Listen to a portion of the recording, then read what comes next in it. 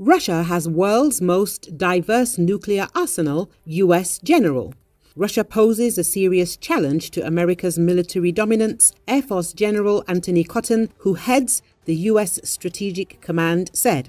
Moscow already possesses a nuclear arsenal that exceeds Washington's and is actively modernizing it, he told the US Senate's Armed Forces Committee in a prepared statement. Together with China, Russia is swiftly improving its position against the US and its allies in multiple domains, the general warned, adding that the pace of these changes is increasing and is now much faster than that seen just a few years ago. He pointed to a recent statement from Russian President Vladimir Putin, who said in early February that the Russian strategic nuclear forces had been almost completely modernized.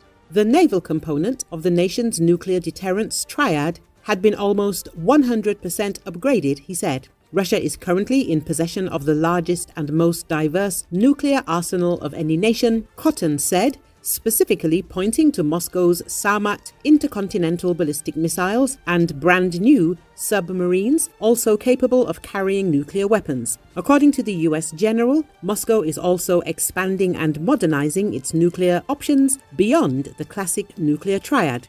In particular, he drew senators' attention to the Kinzhal and Tsirkon hypersonic missiles, both of which he claimed could carry nuclear payloads. The US strategic forces are currently operating in the face of challenges unlike anything America has ever encountered, Cotton warned, adding that the combined potentials of Russia and China, together with North Korea's and Iran's nuclear ambitions, add new layers of complexity to our strategic calculus. He urged senators to facilitate a rapid upgrade of the US's own arsenal, adding that it is absolutely critical we continue at speed with the modernization of our nuclear triad. Ukrainian Air Force reveals remaining A 50 aircraft in Russia. In Russia, fewer than eight long range A 50 radar detection aircraft remain. One such aircraft was destroyed February the 23rd by the Ukrainian Defense Forces, reports Air Force spokesperson Yuri Ihnat during a televised marathon.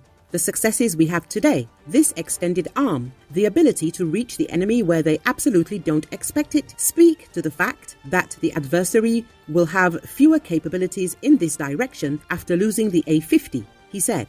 The spokesperson noted that the destroyed aircraft had been modernized. As explained by Ihnat, the A 50 is essentially a radar that can observe and scan, detecting all aerial targets within a radius of 600 kilometers and identifying electronic warfare systems. We need to look at the intelligence data. The head of the main intelligence directorate, Kirilo Budanov, said there were eight aircraft before this.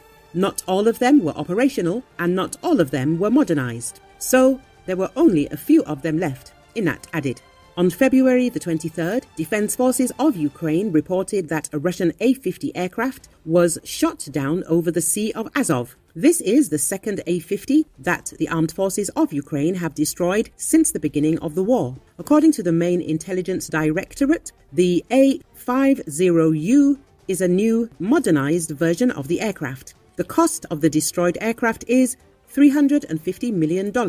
The Russians used such an airborne command post for long range radar detection, control, and guidance for strikes against Ukraine with missiles from strategic aviation. UK helps Ukraine carry out attacks against the Russian Black Sea Fleet. The Kyiv regime's attacks against the Russian Black Sea Fleet were directed by UK Special Services, Russian Foreign Ministry spokeswoman Maria Zakharova told RTVI. It has been detected that the British, along with the US, acted as spotters, supplying the Kiev regime with coordinates of targets. As for the terrorist attacks against the Black Sea Fleet, they were literally conducted under the direction of British special services, she said.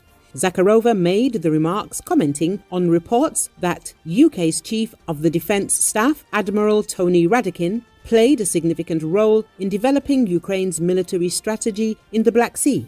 The diplomat also said the Russian Foreign Ministry has repeatedly pointed to evidence of traces of British special services in anti Russian activity and in the fighting in Ukraine, as well as in the implementation of terrorist attacks. In general, the question that should be asked is not about Britain's involvement in separate episodes of the conflict in Ukraine, but about the unleashing and participation of London in the anti Russian hybrid war, Zakharova said. Earlier, Kremlin spokesman Dmitry Peskov said the UK is helping Ukraine and is effectively directly involved in the conflict. Overall, it is no secret to anyone that the British are indeed providing various types of support to Ukraine, both with people on the ground and intelligence and so on and so forth. That is, they are practically directly involved in this conflict. The Kremlin official said, commenting on an article in The Times, that the UK Defence Secretary allegedly was clandestinely helping Ukraine develop combat plans.